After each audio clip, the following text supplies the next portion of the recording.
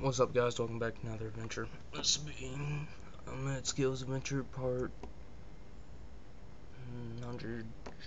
125? Yeah, 125. So, as you see I'm getting set up for that 5 mil giveaway. I got the Pernix, the Torva, and the Virtus, which each set of these are 6500 each of these are 3000 sure that be one two three four. Just have those 4000 so those 4000 those 2000 1200 1500 that's 5000 uh, I think the other two are 20 look that up. I will be giving them away as sets of the spirit shield so these are see that be 30 so that's 40,000 per set, so I'm probably going to get like 10 of those or something. And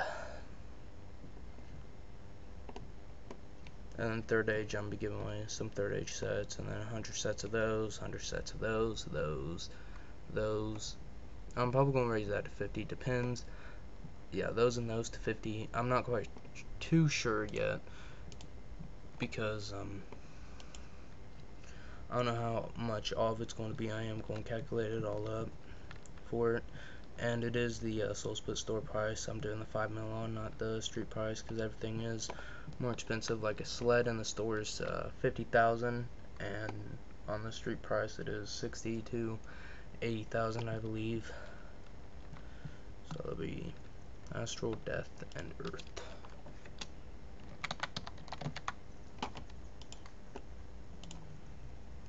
Shorts,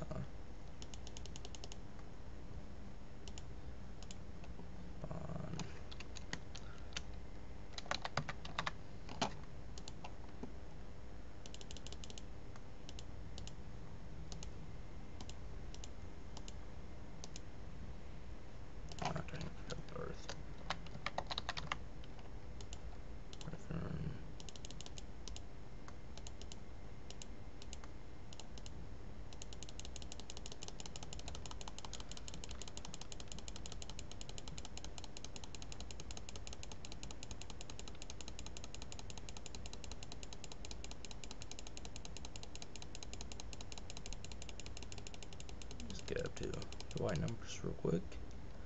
There we go. Alright. So got all those ready. I'm usually usually don't store those in the bank. I'm probably gonna drop them once I'm done here. I'm gonna be here a little bit. It is a kind of money waste, but gotta have fun too, right? Let's get out some rock tails. A lot of people do eat here. I, I do not know why. What just happened?